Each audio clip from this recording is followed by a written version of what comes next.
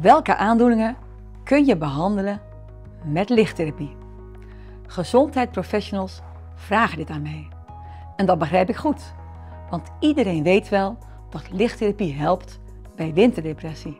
Maar bijna niemand weet dat lichttherapie ook helpt bij veel andere aandoeningen.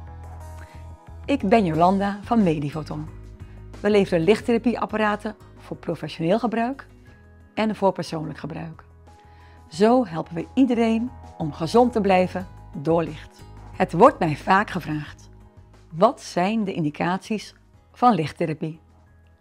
Mijn antwoord is dan eigenlijk alle emotionele, mentale en lichamelijke aandoeningen.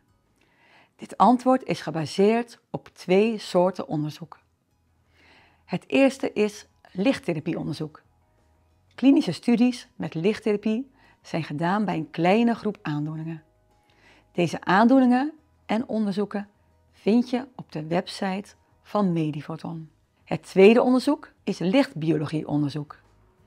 In de lichtbiologie is veel nieuwe kennis over de effecten van zonlicht in de ogen en de hersenen.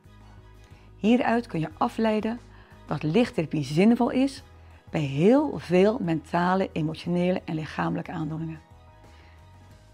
Ik heb een wetenschappelijk artikel over lichttherapie geschreven.